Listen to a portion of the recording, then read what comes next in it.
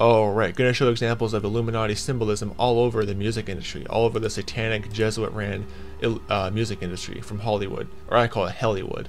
So, going to show some photos of the of celebrities and, and just many many celebrities flashing up the satanic Illuminati symbols in their music videos and their performances and their photos.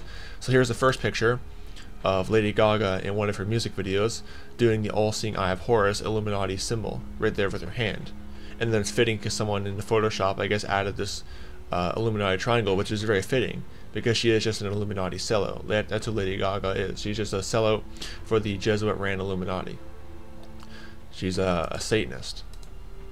Now here is uh, Katy Perry in one of her music videos that got quite a lot of views, also flashing up the satanic all-seeing eye of Horus symbol uh, for the Illuminati. Because the Illuminati, they're the they're called the enlightened ones. They're searching for that enlightenment of the Egyptian god Horus, the pagan Egyptian god Horus, which is just Satan ultimately. But she is, and it's not fitting. She's wearing the Egyptian uh, outfit, a costume, doing the Illuminati all-seeing eye of Horus symbol in her music video. It's very, very fitting. Makes sense because she is just a, a sellout for the Illuminati.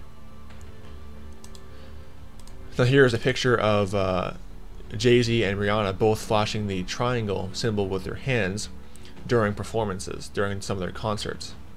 And they're not just doing it for no reason, they're doing it for a reason. Signs and symbols, they mean things, and she's doing it, and they're both doing it to symbolize the Illuminati. Okay, you can think, oh, you're just a crazy conspiracy theorist. You can call me that. But when you look into things, when you look into how the Illuminati, how the Jesuit ran Illuminati operates, they do things subliminally. They, they slip in these subliminal messages inside their performances and music videos and TV shows and, and what, whatever else.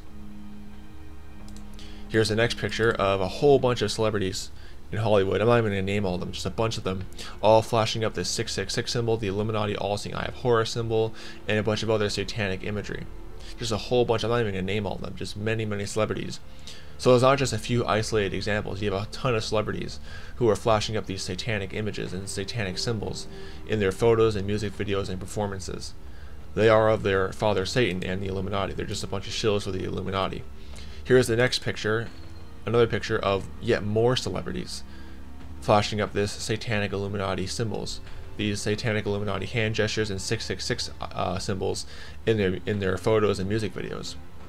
Because and, and then notice how all, all of them are doing it with one eye too, because they're symbolizing that that enlightenment, that Illuminati all-seeing eye of Horus. It's not a coincidence that all these different celebrities are flashing it up. They're symbolizing who their allegiance is to. They're ultimately Satan and to the Jesuit ran Illuminati. Hence why they're constantly flashing up these symbols. And here's the final picture of yet more celebrities, more Hollywood celebrities, flashing up these satanic Illuminati symbols in their photos and music videos.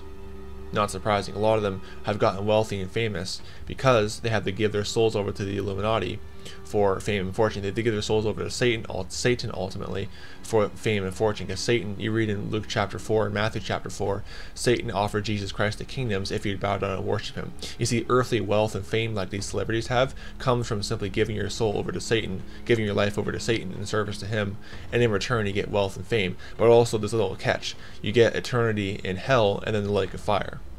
So there's a little catch behind that. There's some strings attached, I'll put it that way. But those are just a few examples of the many, many other examples I could have shown of celebrities flashing up the satanic Illuminati symbolism. This kind of stuff is all over Hollywood. So don't be deceived. May the grace of our Lord Jesus Christ be with all the brethren. Goodbye.